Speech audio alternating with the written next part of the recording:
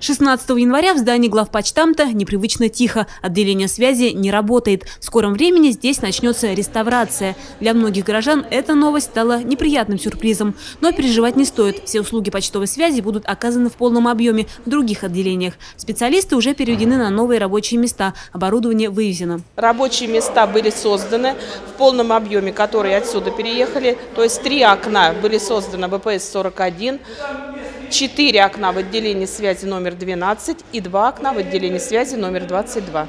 Прием и выдача денежных переводов, заказной корреспонденции, выплата пенсий и пособий, доставка периодической печати закреплены за отделением связи номер 12 на улице Бубнова, дом 47. Окна для обслуживания юридических лиц созданы в почтовом отделении номер 22 на улице Вележская, 57. Выдачу международной почты, посылок, бандеролей, мелких пакетов будем предоставлять в отделении связи номер 41 по адресу площадь Вокзальная, дом 5.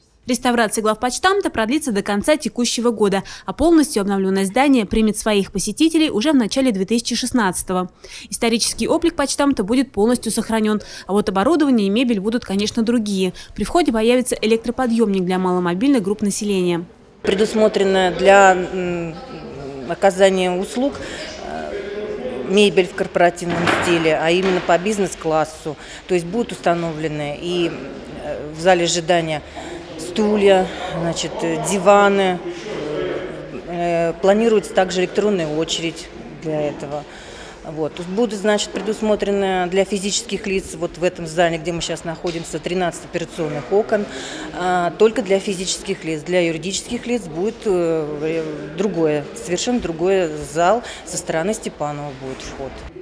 Средства на ремонт уже выделены. Реставрация памятника обойдется в 50 миллионов рублей. Восстановлению подлежит не только внутреннее убранство здания, но и его фасад. Планируется отреставрировать балюстраду и шпили на башне, лестницу при входе. Цвет здания изменится, оно станет бежевым. По итогам реставрации фасад подсветят. Любовь Почерникова, Денис Денисов, РТВ Иванова.